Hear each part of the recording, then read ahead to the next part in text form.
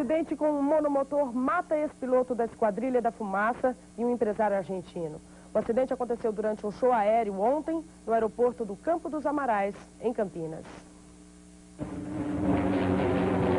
Às 11 da manhã começa o show em Campinas. A festa marca os 15 anos e as 400 apresentações do circo aéreo pelo Brasil. No começo da tarde, o empresário argentino Gustavo Abiso, de São Paulo, decola com um monomotor acrobático russo Sequoia 29.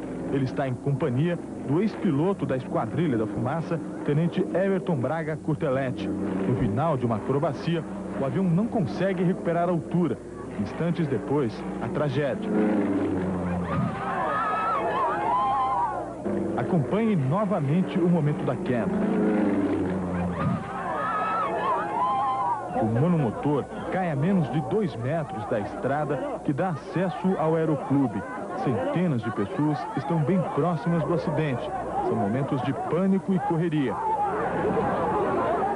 Esse é um momento de grande desespero. O avião caiu agora há pouco mais de dois minutos. A população e algumas pessoas que estavam assistindo aqui estão tentando apagar o fogo. As pessoas usam extintores de incêndio dos próprios carros e terra para tentar apagar o fogo.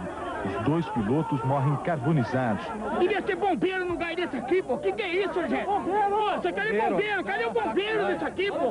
O corpo de bombeiros chega sete minutos depois e é vaiado.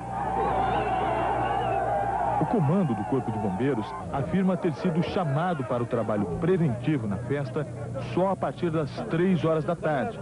A prevenção foi solicitada pelo organizador para, para início às 15 horas do show. O acidente ocorreu às 14h40. Ainda assim, nós conseguimos atender com 7 minutos o acidente. Os responsáveis pelo circo aéreo admitem, os pilotos podem ter falhado. A aeronave era nova, zero quilômetro, os dois pilotos excepcionais.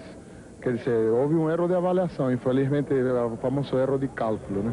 No final da tarde, a Esquadrilha da Fumaça, que deveria encerrar a apresentação, deixa gravada no céu uma homenagem aos colegas mortos.